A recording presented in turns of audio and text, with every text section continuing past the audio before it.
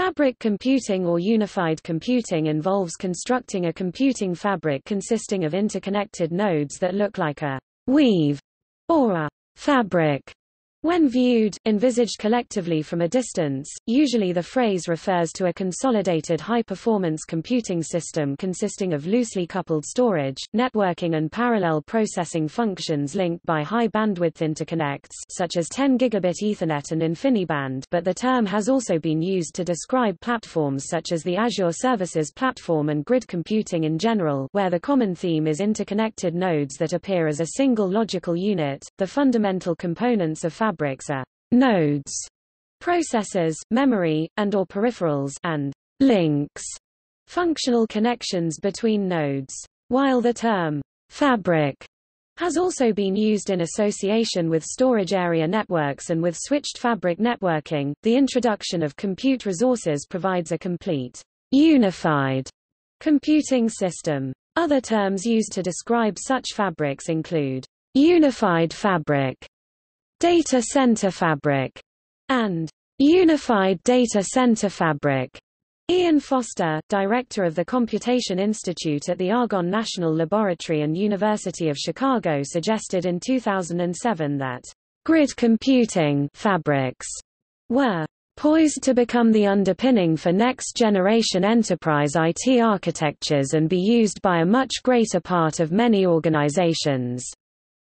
As of 2015 IBM, TIBCO, Brocade, Cisco, HP, Unisys, Egenera, Avaya and Xsigo Systems manufacture computing fabric equipment.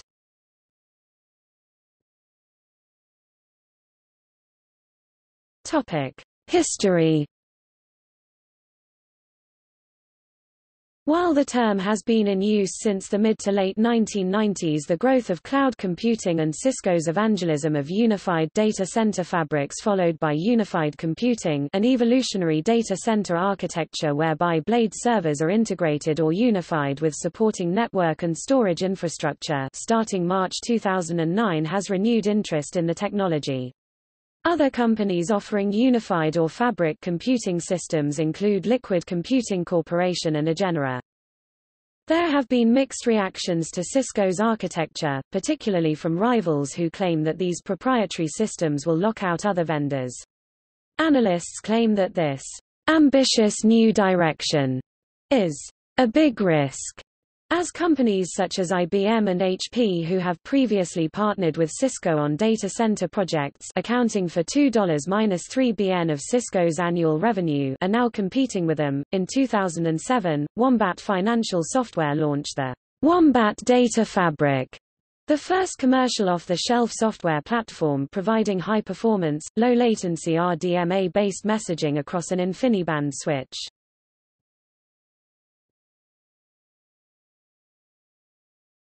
Topic: Key characteristics.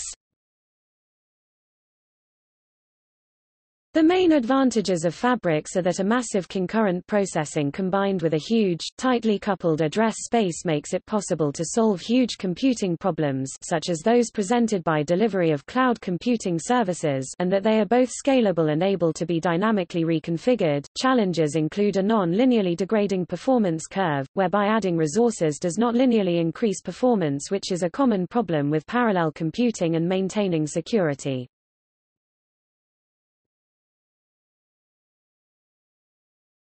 Topic. See also. Cloud computing. Converged infrastructure. Grid computing. Omnipath.